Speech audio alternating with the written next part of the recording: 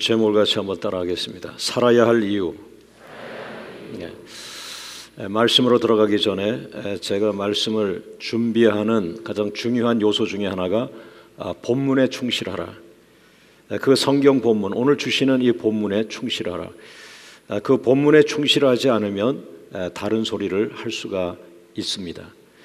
오늘 본문에서 나를 향하여 외치는 소리는 무엇인가? 아, 늘 하나님 말씀은 살아있기 때문이죠. 오늘도 살아서 여러분을 향하여 외치는 소리가 있기를 원합니다. 할렐루야. 자, 첫 번째로 따라합니다. 당신은 위기에 처해 있는가?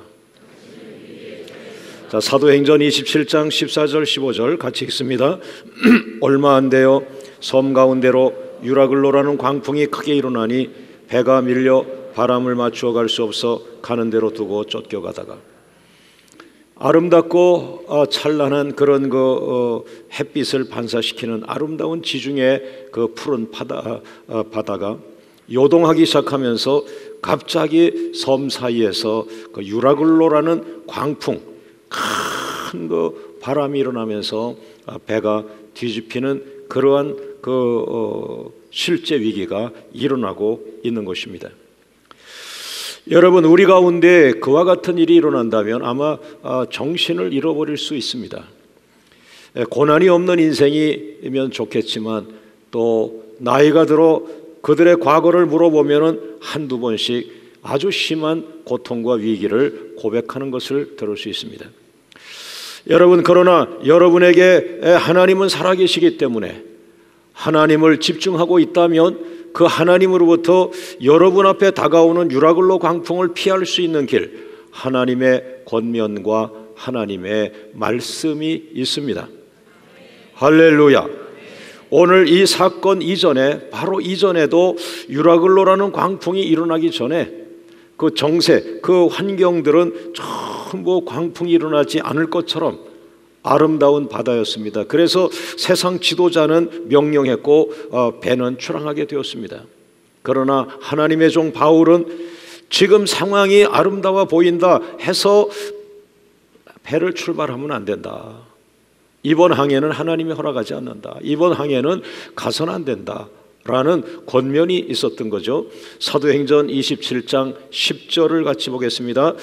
말하되 여러분이요 내가 보니 이번 항해가 하물과 배만 아니라 우리 생명에도 타격과 많은 손해를 끼치리라 하되 제가 27년간 뭐 다 신방을 한 것은 아닙니다만은 초기에는 뭐 정신없이 그 신방을 하는데 전부 가정이 어려워요. 어, 그러니까 뭐 그 신방 받으시는 가정들이 그 이유가 있잖아요. 예. 그러니까 아주 애지중지하게 말씀을 준비해서 그 가정을 막 그냥 그 가정이 원하는 그 말씀들이 있잖아요. 하나님은 오늘 우리 가정을 살리실 것이다. 하나님 오늘 우리 남편에게 새로운 길을 열 것이다. 막 이런 이런 그 마음이 저에게 느껴지는데 이제 그런 마음을 가져가려고 말씀을 선택하고 기도를 계속 많이 하는 거예요. 그런데 지금에 와서 돌아보면은 그 말씀 가운데 권면의 말씀을 해야 될 가정이 있는데 다시 말하면 그렇게 가면 안 됩니다. 이쪽으로 가야 됩니다라는 권면을 했어야 하는데 너무 연약한 모습들이기 때문에 또다시 잠재하고 그 부분은 내가 밤새워 기도하고 그 성도에게는 권면이 아닌 이 권면 다음에 있는 위로의 말씀을 주고 온 거죠. 여러분 수술이 아프다고 해서 수술을 걸러뛰고 어, 꽃다발을 먼저 주는 것 같아요. 수술을 먼저 해야 되는데. 예. 정말 사랑하는 의사, 진짜 의사는 수술을 권합니다. 수술이 잘 되면 꽃다발을 받으세요. 여러분 오늘 이 유라글로 광풍은 너무나 말할 수 없는 폭풍이요 죽음에 몰아치는 그런 고난인데 이것은 하나님의 종의 권면이 있었습니다. 가시면 안 된다고 얘기했습니다. 예. 그런데 11절 말씀 사도행전 27장 11절 말씀 같이 읽어보죠. 백부장이 선장과 선주의 말을 누구의 말보다 바울의 말보다 더 믿더라. 여러분 점점 주일학교 때 선생님에게 집중하고 예배에 집중하고 성경 공부에 집중하던 이 아이들이 자라나면서 이제 고등학교 3학년이 지나 대학을 들어가면서부터 자유한 인생이 됩니다. 사회적으로도 어, 투표권을 인정받으면서 성인의 세계에 들어갑니다. 심지어는 결혼도 어, 부모의 허락 없이 자기가 할 수 있는 이런 사회적 여건들이 확 열리면서 대학생이 돼버린 자식들은 이제 저 세상에 자기가 원하는 것은 다 해도 된다고 하는 어, 방향으로 갑니다. 그러면서 바울의 말보다는 하나님의 말씀보다는 세상의 특별한 사람들의 말에 귀를 기울이고 마음이 꽂히기 시작하죠. 세상 전문가들에 대해서 호기심을 가질 뿐 아니라 자기의 전생애를 저 사람에게 맡기면 좋겠다. 저 사람의 어, 가지고 있는 길이 내가 성공할 수 있는 길을 저 사람이 갖고 있다. 뭐 이런 어마어마한 그 호기심이 발동이 되면서 쏟아져가고 어떤 어, 학생은 연예인을 쫓아가기 시작하고 어떤 분들은 어떤 사람은 경제인 가운데 최고의 연봉을 받는 이런 사람들을 쫓아가고 예. 그러면서 30대, 40대, 50대 더 큰 지도자는 없는가? 더 전문가는 없는가? 세계적인 사람은 누구인가? 이 분야의 세계 최고는 누구인가를 정신없이 20대 대학 시절부터 가, 어, 저, 어, 호기심을 발동했던 것이 이제 30대, 40대, 50대 계속해서 세계의 끝을 가보고 싶어 하는 마음. 이 분야의 세계의 끝은 누구인가? 이 분야의 세계의 끝은 어느 나라에 있는 것인가? 어느 도시 어떤 센터에 그 어, 마지막 내가 요구하는 것이 있는가? 세계 어느 대학에 이 전공을 가지고 세계 속에 영향을 어, 하는 그런 교수님이 계신가? 막 정신없이 추구하는 것이죠.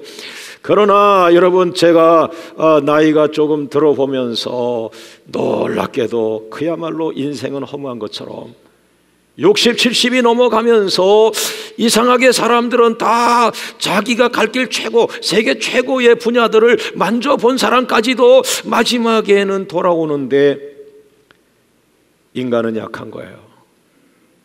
영원한 것이 아니었던 거예요. 역시 영원한 것은 예수 그리스도구나. 역시 영원한 것은 하나님 아버지. 할렐루야. 다시 예배를 드려야 한다. 예배가 하나님과의 관계다. 할렐루야. 할렐루야. 내가 만나볼 수 없는 세계 최고의 대학을 나온 그러한 분들이 지금 저와 같이 세계 속에서 기도 운동을 같이 하고 있습니다. 영국의 최고의 대학이 옥스퍼드 대학인데 영국의 대학생들도 다 가서 공부하기 쉽지 않은 옥스퍼드 대학을 나온 그런 인재들이 목사님이 되어 그 가운데 기도 운동을 감당하면서 이제 다음 주에 제가 영국 가면 같이 만날 분들입니다. 여러분 그분들은 제 앞에서 학력을 말한 적이 없습니다. 오직 기도에 대한 말씀들을 나누죠. 하나님의 어, 여건을 말하죠. 하나님의 말씀을 나누죠. 할렐루야. 할렐루야. 더 겸손하게 기도하고자 하는 마음을 커피를 한잔하면서 나눕니다. 예. 사랑 여러분, 지금 여러분은 어느 정도의 위치에 있습니까? 세계 최고의 그 분야의 지도자를 연구하고 추구하고 달려가 여러분의 최고의 성공을 향하여 가고 있는 시점인가요? 아니면 마지막 정점까지 가봤더니 거기도 불완전해. 그것도 내 심령을 채울 수가 없어. 내 영혼을 채울 수 있는 것은 온전하신 예수 그리스도, 영원하신 하나님의 주권 속에 내가 들어가는 것이야. 할렐루야. 할렐루야. 할렐루야. 사랑 여러분, 오늘 놀랍게도 이 본문에서 유라글로 광풍이라는 것이 나타나면서 하나님의 종이 말했습니다. 지금 출항하면 안 됩니다. 지금 가면 안 됩니다. 지금 가면 안 됩니다라고 했는데 그냥 가버린 거죠. 왜? 더 돈을 벌려고. 그 당시는 비행기가 없이 배를 타고 가니까 배가 어, 바울도 탔지만은 상선 수많은 장사하는 최고의 장사꾼들이 최고의 도시 지금으로 말하면 뉴욕과 런던이지만 그 당시는 로마 아닙니까? 로마에 배가 하나 가는데 얼마나 많은 그 짐을 싣고 갔겠어요. 돈 벌 사람들. 최고의 공부를 하려고 하는 사람, 최고의 정치인들에게 줄을 댈 사람들이 그 배를 타고 있겠죠. 여러분, 그들의 세상 꿈은 다르지만 그러나 똑같이 지중해 속에 들어가 버리고 마는 겁니다. 놀랍게도 그들이 재산을 다 어, 배를 가볍게 하려고 어, 그돈 벌려고 하던 재산을 다 지중해 바닷속에 집어 던지고 거지가 되는 상황. 그래도 하는 말이 나래도 살면 되지. 그렇게 정신없이 벌던 돈, 자기는 쓰고 싶은 만큼 한 번도 써보지 못하고 모았던 그 돈을 단 한 번에 바닷속에 집어넣으면서도 하는 말이 어떻게 해요? 그래도 내 생명이라도 살면 다행이지라. 여러분 그 상황에서 오늘 저는 이렇게 묵상을 했습니다. 나의 결정 하나가 276명의 목숨이 나의 결정 하나에 276명의 생명이 걸려 있다는 거예요. 오늘 백부장이라는 이 로마 장교가 출항하지 않았으면요, 그 배에 타고 있던 276명의 다양한 세계적인 지도자들이 고통받지 않아요. 한 사람의 결정이. 이렇게 많은 사람들을 죽음으로 몰고 있습니다. 아버지가 어, 술 한 잔 먹으면서 친구하고 아 그거 내가 도와줄게 내가 보증 서줄게라고 한 그 말 하나 그거를 찍어서 어, 보증을 쓴 것 때문에 나중에 화근이 일어나서 사랑하는 중학생 고등학생 자식들이 저 시골의 할머니 집에 가서 살아야 되고 부부가 헤어져 있어야 되고 그 많던 어, 재산들은 다 사라져 버리고 아버지가 술 먹고 하나의 결정을 했는데 여러분 이것이 가족을 파탄에 이르게 하는 것입니다. 오늘 여러분들은 하나님의 사람보다 세상 사람의 말을 더 믿고 따르, 따르, 따르다가 큰 위기에 빠져 있지 않습니까? 여러분들은 하나님의 사람보다 세상 사람의 말을 더 믿고 따르다가 모든 재산을 다 잃어버릴 처지에 있지 않습니까? 여러분의 단 한 번의 잘못된 결정이 모든 재산을 다 잃어버릴 처지에 빠지게 할 수 있다는 것입니다. 오늘 여러분의 위기를 하나님은 보고 있습니다. 그것이 우리의 위로죠. 할렐루야. 자, 두 번째 따라합니다. 하나님은 당신의 고난보다 더 크신 분이다. 여러분에게 유라글로 광풍이 온들 유라글로 광풍은 하나님의 작은 힘에도 떠나갈 수 있는 것입니다. 하나님을 보십시오. 예. 할렐루야. 자, 22절 사도행전 27장 22절 시작. 내가 너희를 권하노니 이제는 안심하라. 너희 중 아무도 생명에는 아무런 손상이 없겠고 오직 백분이리라. 여러분 유라글로 광풍으로 모든 사람들이 사람들의 생명까지 포기해 버리고 말았을 때 하나님께서는 하나님의 위로자 바울을 등장하게 하십니다. 오늘 여러분 가운데 아주 여러분이 원하지 않는 많은 기도를 시켜신다라고 하나님이 여러분을 왜 그렇게 기도를 많이 시키지 그것이 이상할 정도로 느껴지는 사람이 있다면 여러분이 이상하리만큼 많은 기도를 여러분을 시켰다면 하나님은 그 기도 끝에 여러분을 역사가 필요할 때 역사 앞에 하나님의 위로자 하나님의 축복의 통로로 세우실 계획이 있을 겁니다. 여러분 이유 없이 아이들이 공부하지 않잖아요. 아이들이 열심히 공부한 끝에는 합격이라는 게 있잖아요. 이유가 없는 하나님이 아니에요. 여러분에게 말할 수 없는 기도를 몰아치고 천일의 기도를 몰아치고 칠백일의 기도를 몰아치고 정신없는 기도를 몰아치고 죽음과 싸우는 생명의 기도를 몰아쳤는데 하나님께서는 준비시키는 겁니다. 에스게라 5년 동안 5년 동안 네 나이 25세 포로 됐는데 30세까지 5년 동안 너는 20대지만은 그 바로 아저 저 그 바벨론 포로에서 계속 엎드려 기도해 엎드려 기도해 5년 동안 정신없이 기도시킨 에스겔이라는 청년이 30세 되었을 때 하나님의 나라를 회복시키는 선지 제사장으로 세움 받은 거죠. 그래서 태어난 것이 에스겔 서입니다.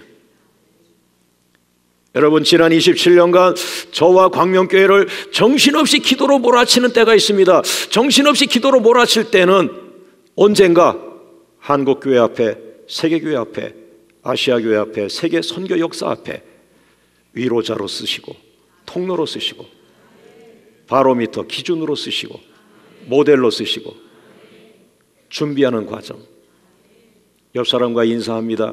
하나님은 당신을 하나님의 위로자로 세우실 것입니다. 할렐루야, 할렐루야, 할렐루야.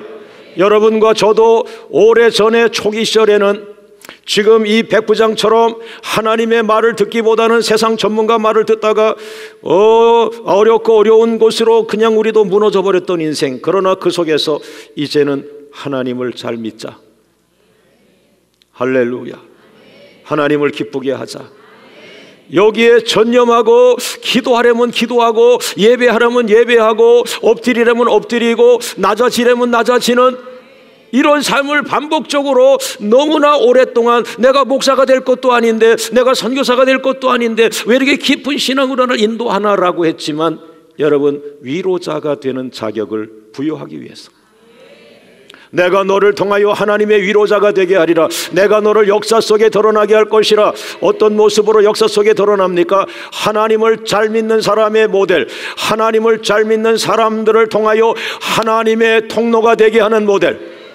할렐루야. 할렐루야. 이번 27주년에 저는 너무나 행복했습니다. 이제는 광명교회를 세계 속의 축복의 통로로 세우시는구나. 저만이 아니라 여러분 모두를 자, 옆 사람과 인사하죠. 때가 되었습니다. 쓰실 것입니다. 세움 받으십시오. 통로가 되십시오. 위로자가 되십시오. 할렐루야. 할렐루야. 여러분 이 하나님의 사람 바울이 나타나면서 초축이 되어 죽어가고 있는 276명을 향하여 하나님의 위로자로 반듯 섰습니다. 자기도 두려운데 자기도 두려운데 그러나 어젯밤에 위로를 받고 나니까 하나님의 임재를 체험하고 나니까 하나님의 영광을 체험하고 나니까 할렐루야.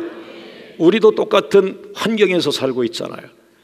똑같은 도시에서 똑같은 대한민국이라는 정부에서 나라가 어려울 때는 나도 어려운 것이고, 그죠?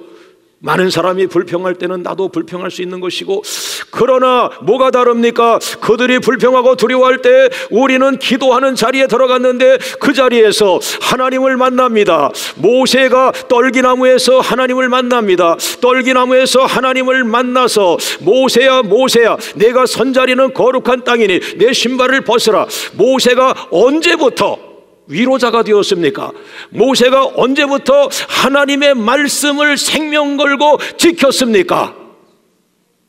모세 주변에 수많은 인재들이 있었지 않습니까? 그런데 모세는 사람의 말을 듣지 아니하고 전문가의 말을 듣지 아니하고 하나님의 말씀을 들었는데 그것은 떨기나무 사건 이후 하나님을 만난 이후 하나님을 체험한 이후 내가 엎드려 기도하는 가운데 그 엎드려 기도하는 가운데 하나님의 임재를 체험할 때 하나님의 임재가 무엇입니까? 나를 살려달라고 밤새워 깜깜한데 혼자 엎드려 기도할 때 성령의 감동 내가 너를 버리지 아니하리라. 내가 너와 함께 있으리라.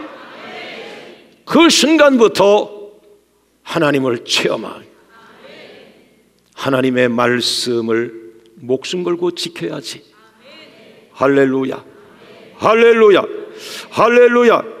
그렇게 되면서 어, 이제 어, 성도들을 향하여도 설교할 때 하나님의 그 말씀, 생명의 말씀, 하나님의 주권적인 말씀, 믿음의 말씀을 던지면 믿음이 생기고 전도의 말씀을 던지면 전도가 일어나고 부흥의 말씀을 던지면 부흥에 일어나고 그리고 제 마음에 항상 중요한 것 우리는 피조물이고 연약한 자들이니까 질병이 항상 노출돼 있다. 하나님 이 강단에서 세계 선교의 비전도 계속 설교되지만 우리 성도들 아픕니다. 하나님 치유의 말씀을 주세요. 치유의 말씀을 주세요. 치유의 말씀을 주세요. 할렐루야. 그러나 마귀는 하나님 말씀이 위대한 것을 알기 때문에 마귀는 여러분들에게 하나님 말씀을 듣지 못하게 만드는 것이죠.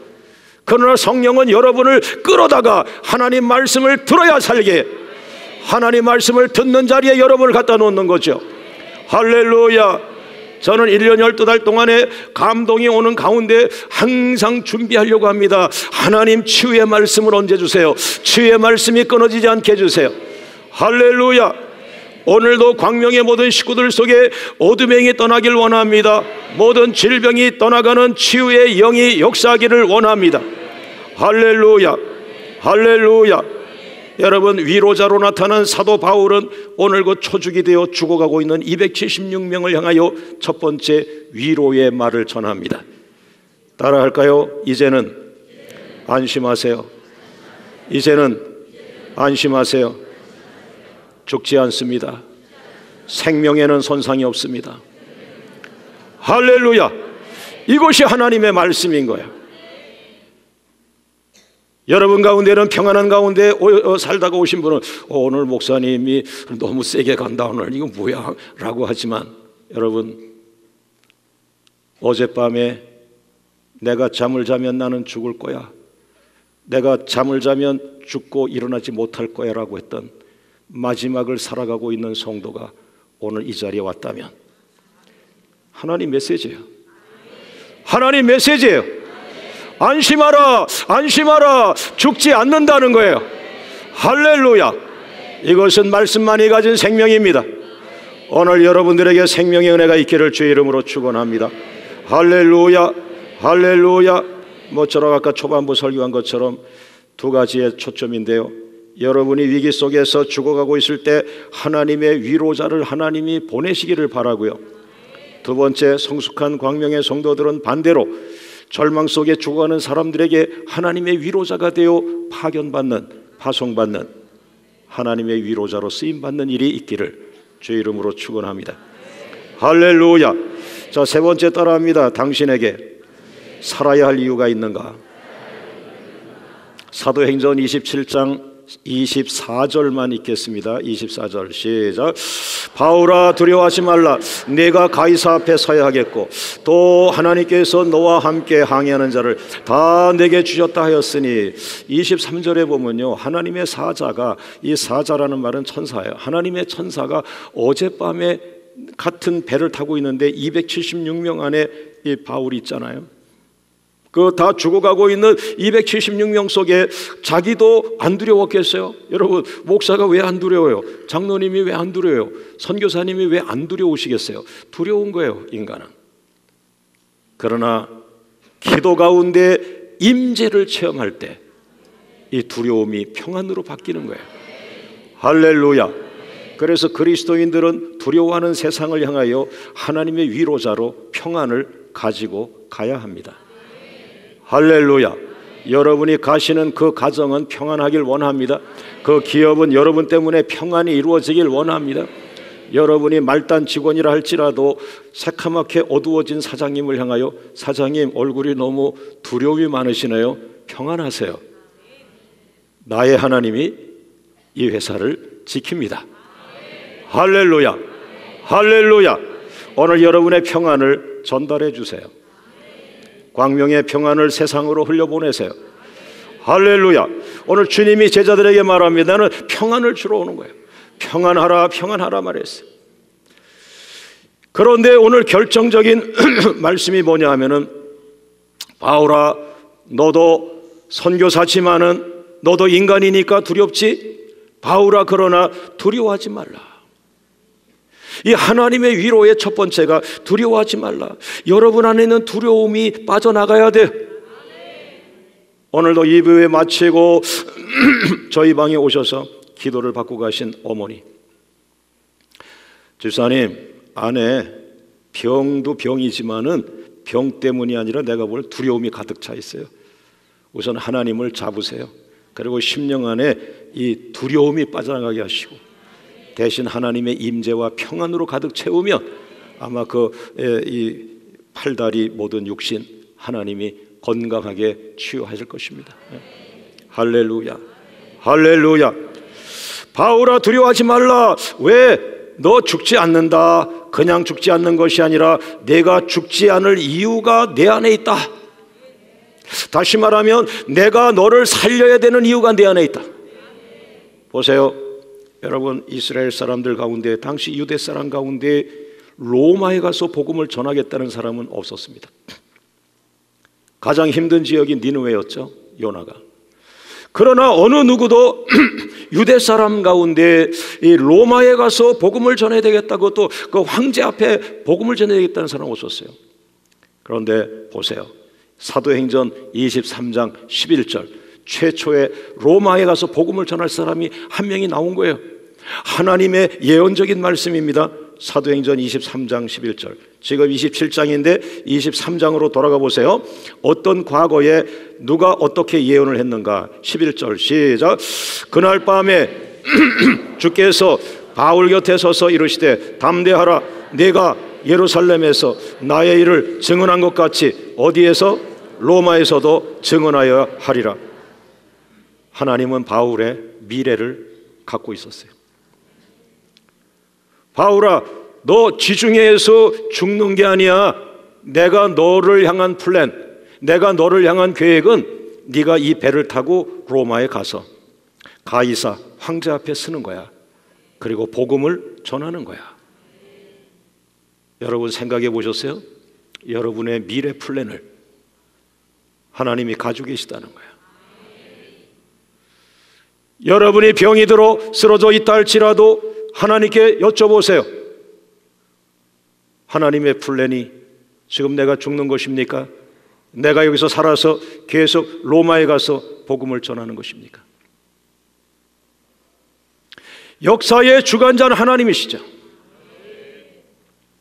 우리는 너무나 작은 개미처럼 열심히 일을 해서 어, 겨울에 먹을 것을 양식을 준비하고 양식을 준비하고 매년마다 우리는 김장을 하는 민족이 아닙니까?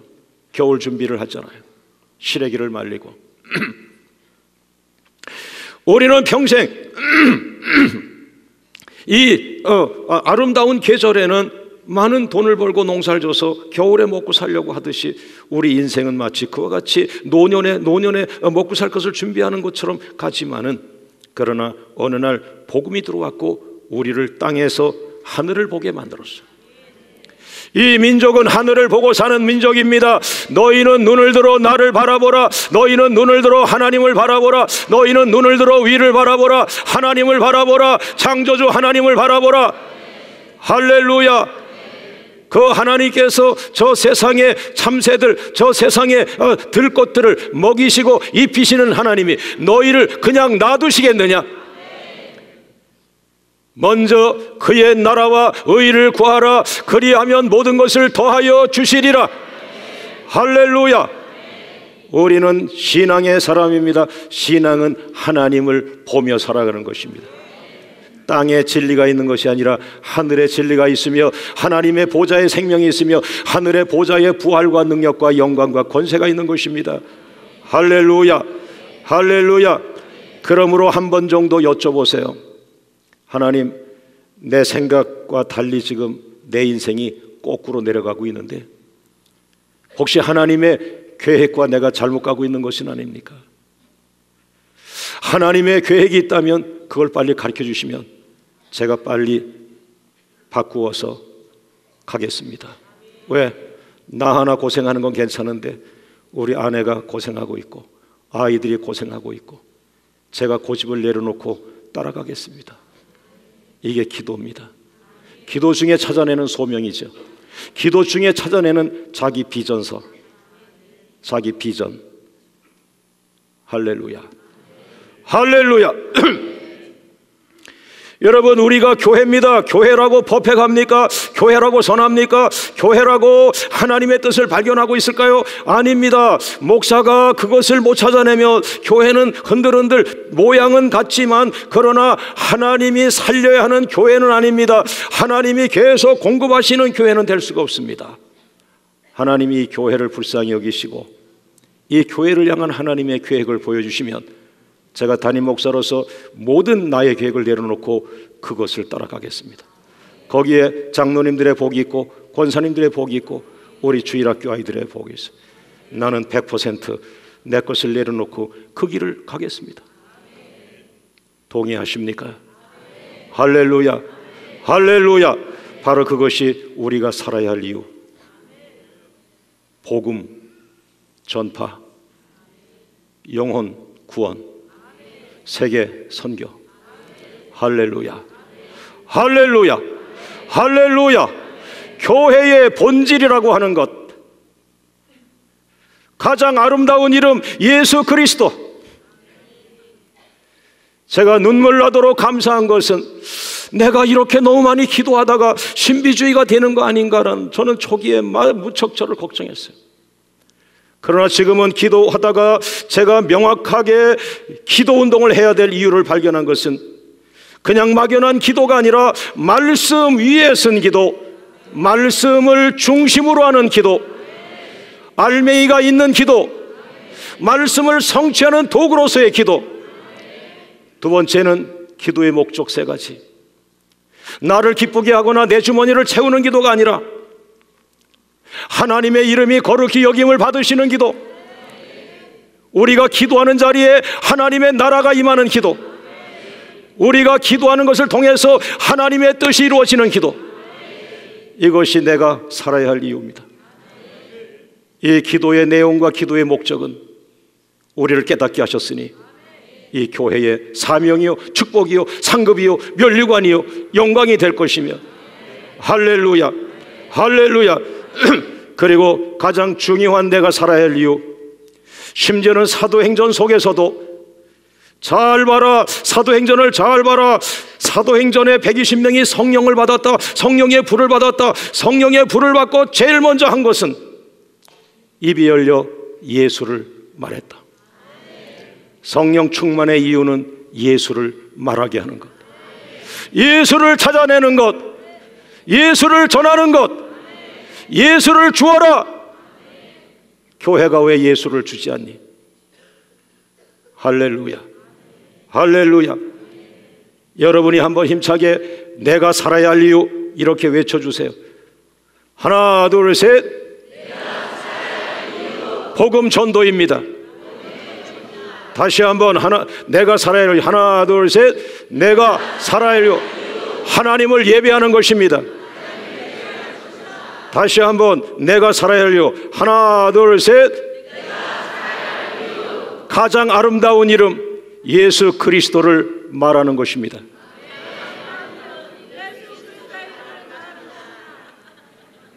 할렐루야. 나머지는 각자 성령의 인도를 따라가시면 되겠습니다. 모든 영광을 주님께. 할렐루야. 할렐루야!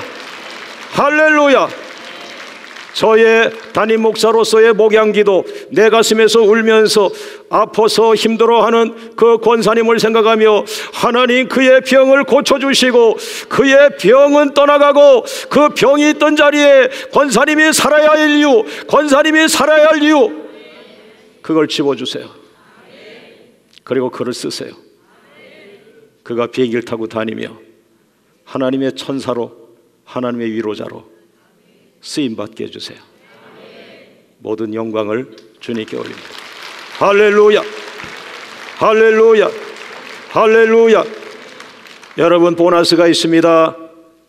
살아야 할 이유가 있는 사도 바울 한 사람 때문에 그 배에 타고 있던 276명을 바울아 그 배에 타고 있던 예수 믿지 않는 그 많은 사람들을 너에게 주셨다.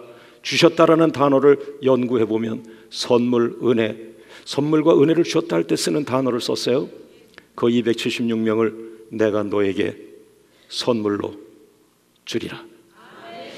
이 도시의 수많은 영혼들, 우상을 숭배했던 많은 사람이라 할지라도 우리 가슴에 살아야 할 이유, 복음 증거, 예수 그리스도, 그분 때문에 그 많은 사람들을 우리에게 선물로 주실 것을 믿습니다. 자, 모든 영광을 주님께 올려드립니다. 할렐루야, 할렐루야. 우리 합심해서 한번 기도하겠습니다.